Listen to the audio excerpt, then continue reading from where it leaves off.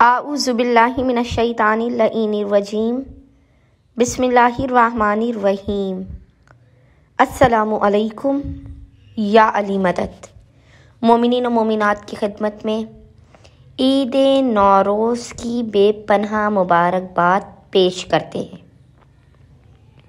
आज मोमिन की खिदमत में ईद नौरोज़ के दिन के आमाल और दुआ लेकर आए हैं सबसे पहले मोमिन को बताते चलें कि ये दिन ईद नौरोज़ क्यों मनाई जाती है? ईद नौरोज़ को हम क्यों मनाते हैं? ईद नौरोज़ असल में शमसी कैलेंडर। जैसे हमारे यहाँ कमरी कैलेंडर चलता है चाँद के हिसाब से। अजम में, दुनिया में जिन जिन ममालिक में फ़ारसी बोली जाती है उन ममालिक में शमसी कैलेंडर, सूरज जब पहली बार निकलता है उस कैलेंडर के हिसाब से तारीख लिखी जाती है। पहला दिन है ये सूरज के निकलने का, और ये वो दिन है कि जिस दिन बड़े अहम अहम वाक़यात हुए। शमसी कैलेंडर के मुताबिक ईद गदीर हुई है, आज के दिन, नौरोज़ के दिन। नू सलाम की कश्ती कोहे जूदी से टकराई है, इसी नौरोज़ के दिन, शमसी कैलेंडर के दिन। ये वो दिन है शमसी कैलेंडर का कि, इसी के मुताबिक दज्जाल का कत्ल भी होगा। नौरोज़ के दिन कायम आल मोहम्मद अजल्ला फ़रजहू शरीफ का जहूर की हकूमत कायम होगी। मौला अली सलाम ने इसी दिन रसूल खुदा के कंधों पर सवार होकर काबे को बुतों से खाली किया था। नौरोज़ की हकीकत यह है कि नौरोज़ के दिन हम जितने भी अमाल करते हैं उसे क़ुरबतन अल्लाह की नीयत से। अल्लाह की रज़ा हासिल करने की नीयत से करना चाहिए।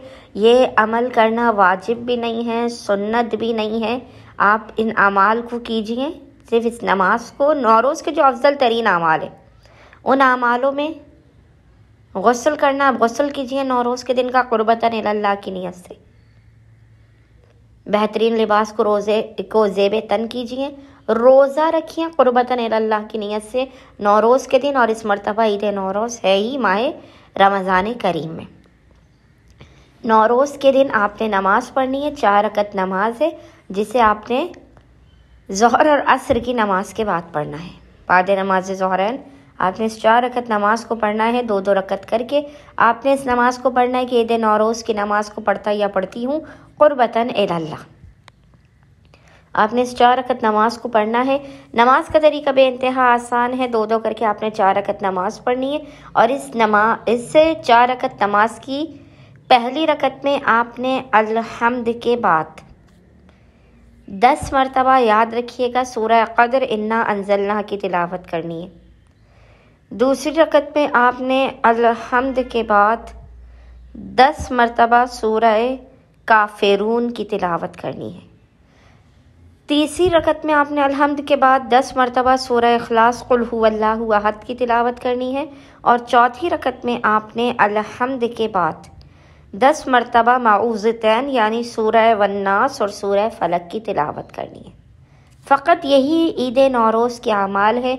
इसके अलावा जैसे कहा जाता है, नौरोज़ का ख़ास सदक़ा, ख़ास इसमें आज़म ये तमाम आमाल आप कर सकते हैं, लेकिन नौरोज़ के दिन जो आपने बेसिकली तीन आमाल करने हैं, गसल करना है, रोज़ा रखना है, और ये चार रकत नमाज़ पढ़नी है।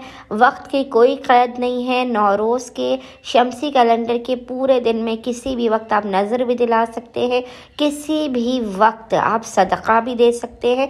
रंग की भी कोई कैद नहीं है कि मिसाल के तौर पर कहा जाता है कि जैसे सब्ज़ रंग है सफ़ेद रंग है, सुर्ख रंग है, कि इस साल आपने इन्हीं चीज़ों पर, इसी रंग की चीज़ों पर नज़र दिलानी है। ऐसा कुछ नहीं है, आप किसी भी किस्म के खानों पर, किसी भी किस्म की मिठाई पर नज़र दिलाइए। अमीरमिन अली अबन अबी तालिब सलाम की अपने दिन को इबादत में गुजारिए और दुआएँ कीजिए अपने वक्त मुक़दर और नसीब को बुलंद होने की, अपने रिस्क में बरकत की, अपनी हाजात की कबूलियत और मुश्किल के ख़ात्मे की।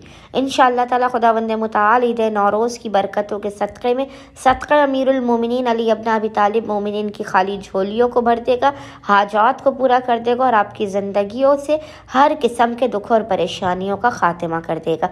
अल्लाह सल महमद वाल महमद वाजल फ़राज हम अजमाइन